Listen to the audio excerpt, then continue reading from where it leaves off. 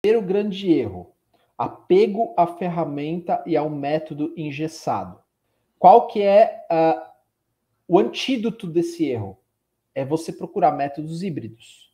Então, uhum. o primeiro alto desafio é você pesquisar métodos que encaixem também com o seu.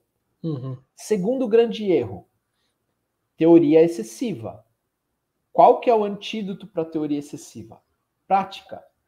Uhum. Então, um alto desafio para o profissional que atende, nesse sentido, é ele colocar mais autodesafios e práticas para os seus clientes ou pacientes no atendimento.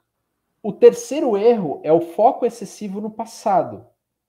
Então, o antídoto disso é a construção de metas e visão de futuro. Então, um alto desafio é você começar a trabalhar com seus clientes e pacientes. Qual é o objetivo que ele quer alcançar? Qual é a meta que ele quer alcançar?